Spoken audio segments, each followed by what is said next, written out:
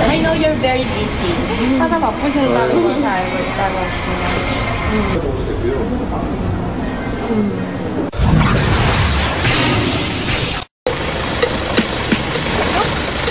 Sabi ng mga Koreanong kasama namin, kailangan kaming magmadali. Pumayag na kasing magpa-interview si Song Il-gu na kilala sa Pilipinas sa kanyang pagganap bilang Jumo. Sinalubong kami ng manager niya sa isang coffee shop. I'm Sandra. Can you do this? Okay. Hindi nagtagal,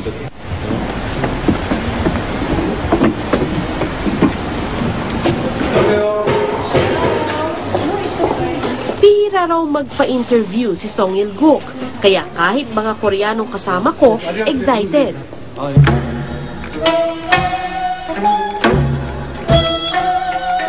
Marami ng pinagbidahang drama si Song Il-guk pero aminado siyang ang Jumo ang tumatak ng husto sa kanya.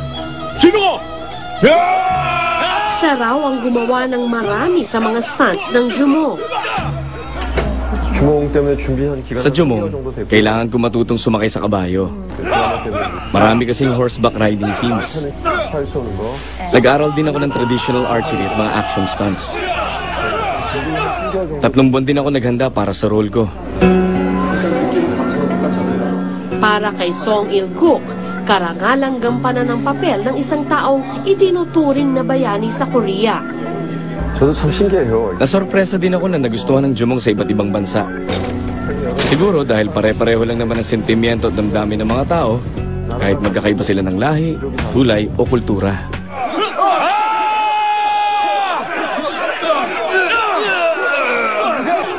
Bakit nga ba patok sa mga manunood ang Korean drama?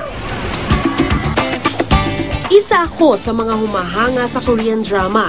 Matapos makilala ang ilan sa mga personalidad sa likod nito, nakita kong malaki pala talaga ang naiaambag ng sining sa isang bansa.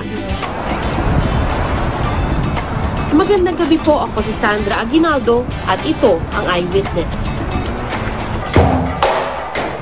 네, 필리핀 국민 여러분, sa aking mga Filipino fans, salamat sa inyong pagtangkilik sa mga Korean dramas.